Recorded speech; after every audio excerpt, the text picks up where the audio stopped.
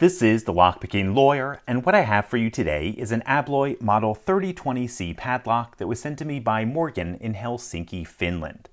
While this is a current production padlock, it's a retro design which is quite old. The so-called Abloy Classic core inside is even older, having been introduced in 1907. The core is actually pretty good. It's a disc detainer design with 11 discs and lots of false gates. So, despite its age, the design does require a fair bit of skill to open.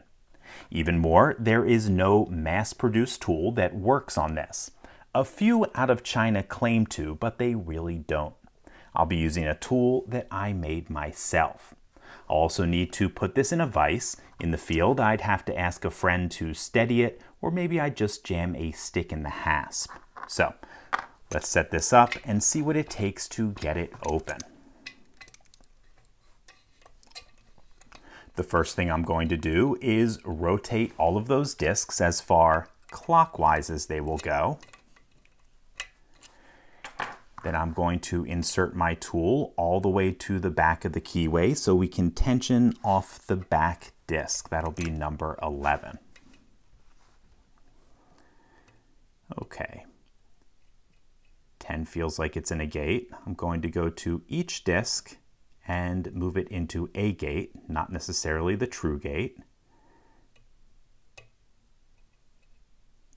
I think that was nine, eight, seven, six, five, four, three, and I felt a little bit of movement. It could be that we have everything in a gate. That was two, and number one is a spinner. There is a gate on it, and it is in that gate. Okay, let's keep going. Right now I'm going to go back to each of the discs and try to get them into a true gate.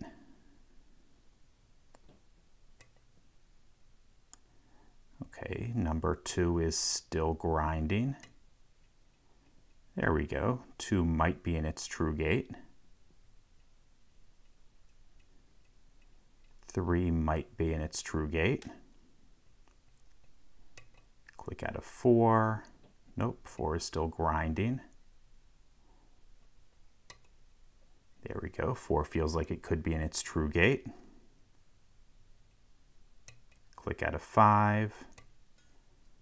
There we go. 5 is definitely in a true gate.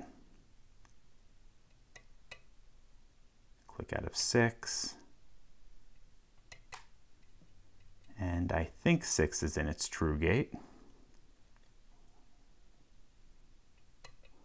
Click out of 7. Nope, that's a false gate. Another click, still a false gate. There we go. I think that one's set. 8. 8 feels like it's in a true gate. Click out of 9.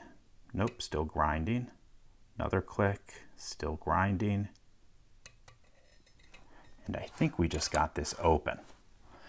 Okay, folks, while this is not a high security lock, the core provides a level of protection that's not likely to be non-destructively defeated in the field, at least not without the attention of a very skilled picker.